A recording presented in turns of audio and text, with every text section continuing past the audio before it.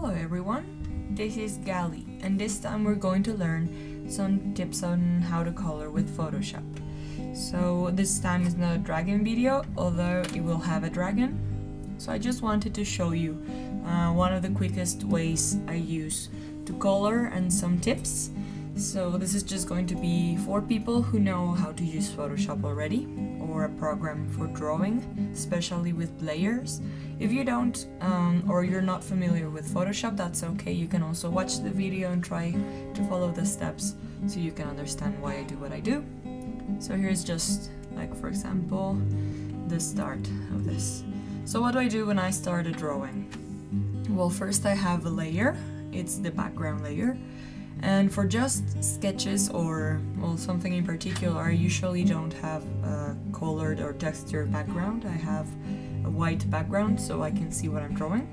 And I usually choose a 2B pencil, which is here in, in the brush tool. And you can alter this however you want. I, it's gray, but I choose black. And I keep all the opacity and all the flow on it. So I'm just going to make a sketch. For example, you can also choose blue to make your sketches. So I don't know, we're, we're probably going to make a, a dragon head. Just a quick drawing so you can see what we're going to do. And you can change the size of whatever you draw. I don't know, like this.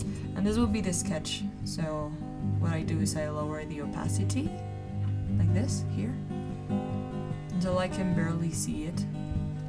And I name this sketch for the exercise.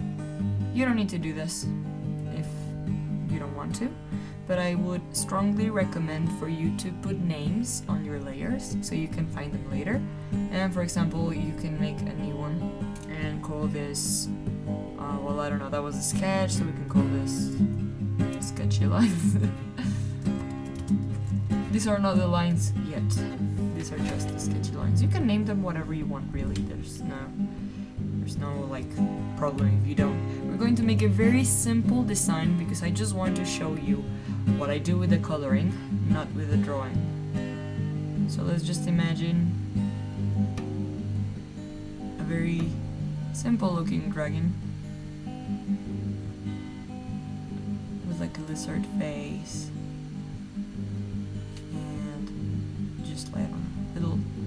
head spikes like this. It's going to be terribly simple, but it has a purpose. This is not an anatomy lesson, so don't fear if it doesn't look great. It's just for reference. So you can hide your sketch layer and or block it. For example, I block them so I don't draw on top of them. And then I use this sketchy lines layer Instead of calling it sketchy lines, I chose lines. Lines is better. Yeah, it's going to be the liner for now. So we're going to start with the coloring tutorial. There's something mm, well, really useful that's called anchoring one layer to another, but what I do before I do that is try to fill this in with color and there are two or more ways to do this but I have two main ways to do it. The first one is I am on my lines layer and I use the W or the wand. I don't know what this is here. You can put it here. So the wand, right? Magic wand. And you choose outside of your drawing. This works perfectly if you have closed lines, if you have drawn the whole figure and it's closed. In that case, you can just choose the outside of your, your picture and click Command Shift I so that that what that does is it, it inverts the selection to your character. So command shift I. If you don't know how to do that you go to select and select inverse. So you can now see shift command I. So what that does is instead of selecting this you're selecting this but we're not going to color inside of this in this layer because that will ruin the liner.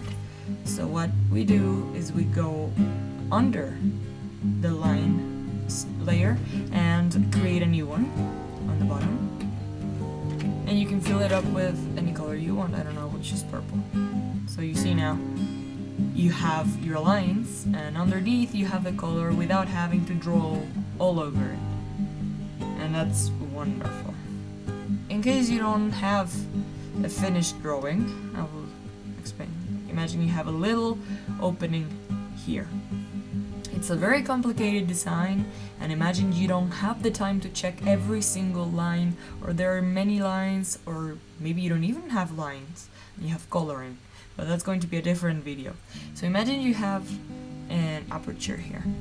See what happens when I choose this, it goes inside and if I tried to fill it up it would go all the way here and it wouldn't work. So what do you do if you can't go finding every single hole your drawing has and want to color it like I just did? Well, what do you do, under the lines layer, block it just in case, zoom in if you need, we're going to do something as an example, I'm not going to do it perfectly, just so you can see. For example, what I do is I grab a big brush, and not this brush, big brush that has perfect streak, like this. And what I do is I go on the outline of the drawing. So just go like this. All around it. And all the on the lines, on the outside lines. Like there's no need to feel all of it, just go around the outline. What I'm doing is just going around the inside. And if I chose a bigger one it would work better, but I'm just doing this for showing you. So I'm gonna do it perfectly. As you can see, no, remember I'm not doing this perfectly. If I did, I would, it would take me longer. So just imagine you have the lines like this. Of course, this is going outside the line and it looks terrible, ignore that.